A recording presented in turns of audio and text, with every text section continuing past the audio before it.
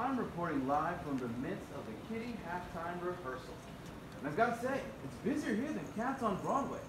I'm told that Jenny Anydots, Old Grumble Cat, and even Rum Tum Tugger will be impressed with this performance.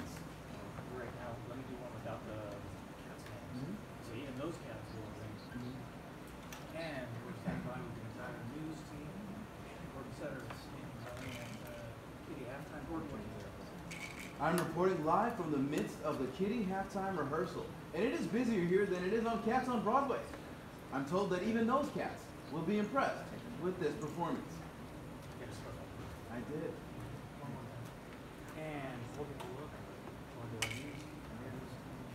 They're working on Center. Others. Standing by. Gordon, what do you have? They're working on I'm reporting live from the midst of the Kitty halftime rehearsal. It's busier here than Cats on Broadway. And I'm told that even those cats will be impressed with this performance. Great.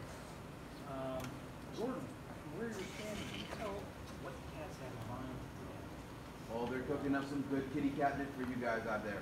Now, we've got some illuminated letters in the background for the Puppy Bowl 16. Uh, a, a stage in the shape of a paw to make them feel comfortable.